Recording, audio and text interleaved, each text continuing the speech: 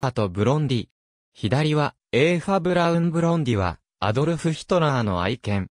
ジャーマン・シェパード・ドッグのメスで、1941年、子犬の時に、マルティン・ボルマンから贈られたものである。ブロンディは、1941年ボルマンから愛犬家であったヒトラーに贈られた。ヒトラーはブロンディを溺愛し、誰に聞かれてもブロンディが一番大好きだと答えていたほどであった。ブロンディ自身もヒトラーのことを信頼し、休暇によく一緒に散歩をしたり遊んだりした。ナチスの宣伝記事において、ブロンディはヒトラーの動物の恋人として紹介されるなど、その緊密な関係が有名な犬であり、ブロンディを描いた本や絵はがきが売り出されたこともあった。第二次世界大戦末期の1945年1月、ヒトラーが相当地下壕に移転した後も、ブロンディは彼と行動を共にした。ヒトラーはブロンディが相当防空壕の寝室に泊まるのを許していた。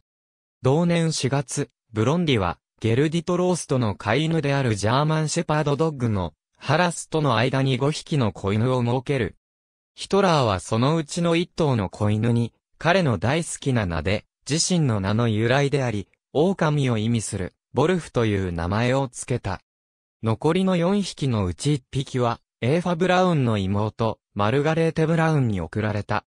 1945年4月29日、ヒトラーは同盟国イタリア社会共和国の指導者、ベニート・ムッソリーニが処刑され、死体が逆殺りにされたことを知った。ヒトラーは自身とエヴァが赤軍に捕らえられ、ムッソリーニとクラーラ・ペタッチのような最後を回避するために自殺を決意する。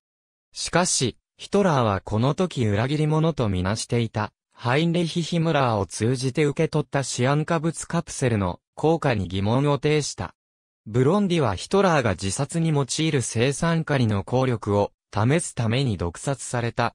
ブロンディは口に毒を詰め込まれることを最後まで拒み、眼差しはヒトラーにずっと向けられていた。彼の退出後もその先をずっと見続けて生き絶えた。幼い4匹の子犬も同様に毒殺されたが、ボルフの身行方不明となった。ヒトラーは翌30日に自殺した。注釈出典ありがとうございます。